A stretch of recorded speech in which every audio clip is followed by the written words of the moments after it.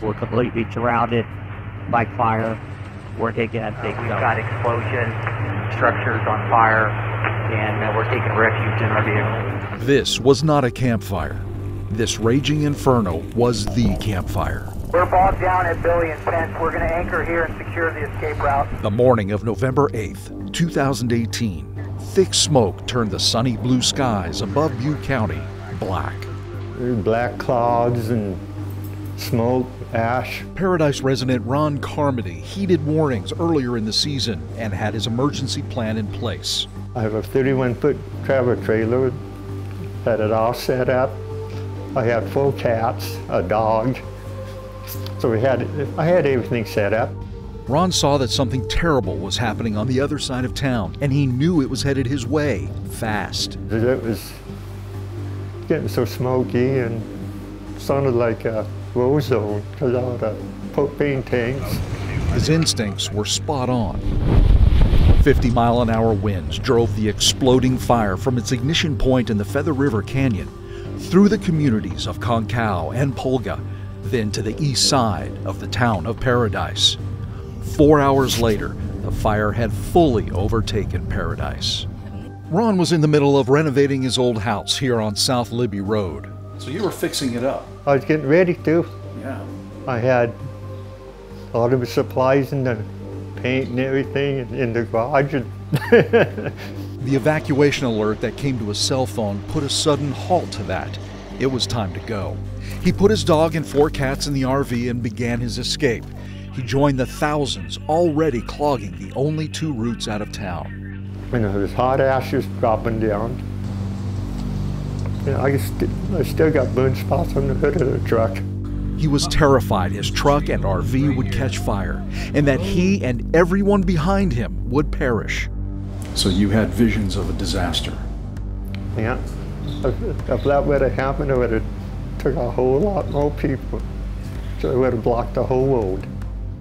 For evacuee survivors and those who were caught escaping, it was hell on earth. It's extremely smoky. There's quite a bit of fire down here. The task of recovery began weeks before the flames were even out. Ron heard about the Cal OES solution to dealing with the charred remains of his home strewn about his lot at any one of the many community meetings held in town. It was called the Personal Property Debris Removal Program. He quickly signed up. This program removed the burden of hiring and paying for his own contractors to clean the debris left behind by the fire. How do you feel about the property debris removal process? Do you have a good experience? Was it a negative experience? Just describe to me. It was how- okay. Say that I had, I had some problems, but, you know, The problems, he said, were with the soil excavation. How did that process go? slow. But his experience wasn't all negative. What did you like about the process?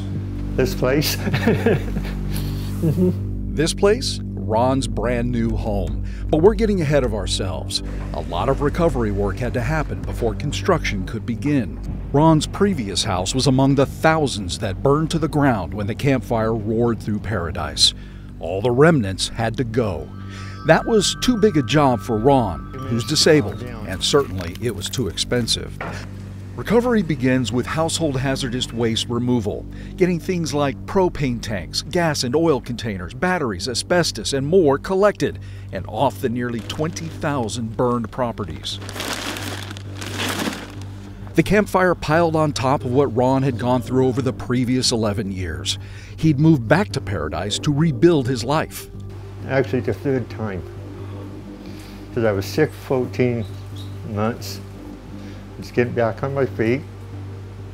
And Camp Fire hit. but he would have to wait for recovery to go through his process. Debris removal is next, and it starts after the household hazardous waste mission is complete, usually a few days to several weeks. It includes everything else that's burned, things like building materials, concrete, metals, ash, and contaminated soil. Hurry up and wait, you know. The personal property debris removal program is very labor intensive. The property is cleaned down to the soil itself. The top three to six inches are removed and then tested for contaminants. If any are found, another layer is removed, ensuring it's clean. And once they got done, they tested the, uh, the property. They had to come back and re-dig down because it didn't pass inspection. That was the source of his only real gripe about the PPDR. Ron said the waiting was the hardest part of the debris removal process. It took a lot longer than he expected, but it was the coordinated efforts within the PPDR that prepped his lot for his new home, at a time when Ron likely could not have done it on his own. So until his new home could be built, he would live in his old RV. I lived in the RV for three and a half years Sounds like that was difficult. at times. June 29, 2022, Ron got the keys to his new home. The old proverb, it takes a village, certainly applies to Paradise. So what got you through it? Termination. Mhm.